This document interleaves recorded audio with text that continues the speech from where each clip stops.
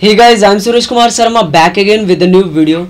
In my previous video, how to make new color from primary color to secondary color, I have been asked a lots of questions, but do you know what was the familiar one? Yeah, how to make uh, skin color, guys. So the topic of this video is gonna how to make skin color. To make skin color, I'm going to use three primary colors that is gonna red, yellow, and blue. We can also use white, gray, or black to make tint tones or shades. So without wasting time, let's jump into the video guys.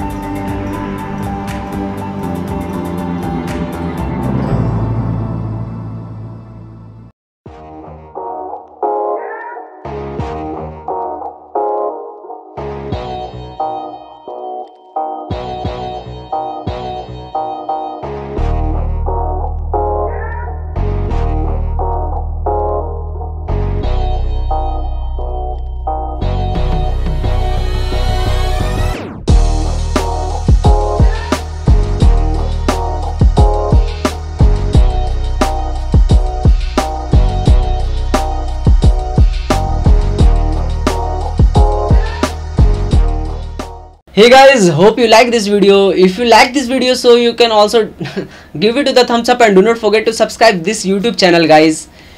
So i will see you soon in my next video.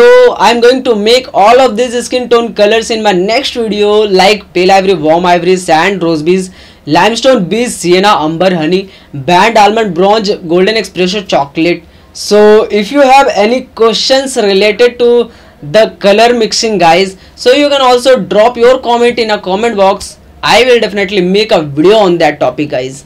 So that's it for this video guys. I will see you soon in my next video. Till then stay blessed be happy and keep smiling guys